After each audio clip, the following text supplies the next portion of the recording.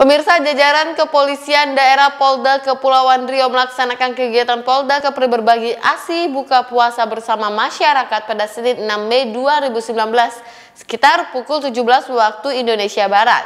Kegiatan ini dipimpin langsung oleh Irwasda Polda Kepri Kombes Pol Purwo Lelono.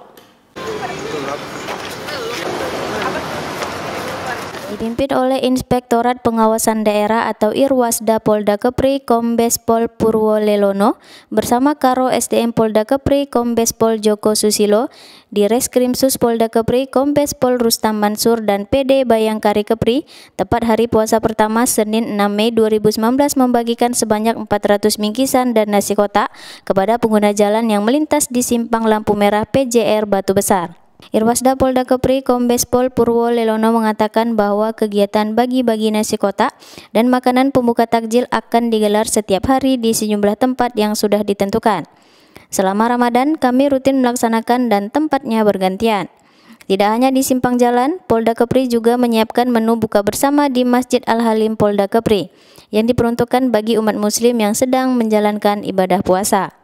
Polda Kepri juga menggelar buka puasa bersama setiap minggu dan menyiapkan 1.500 nasi kotak. Polda Kepri juga menggelar buka puasa bersama setiap minggu dan menyiapkan 1.500 nasi kotak dengan berbagi di bulan suci Ramadan. Kegiatan ini bisa bermanfaat bagi masyarakat dan bisa menjalin tali silaturahmi.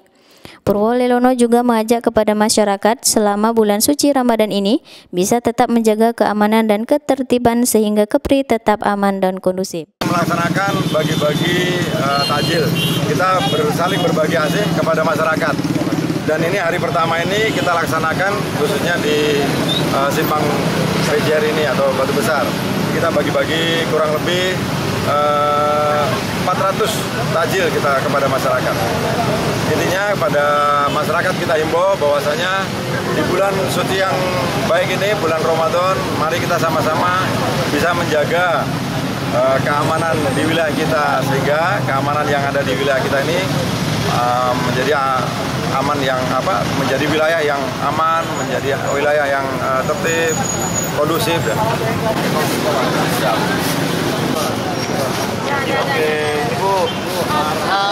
Ya.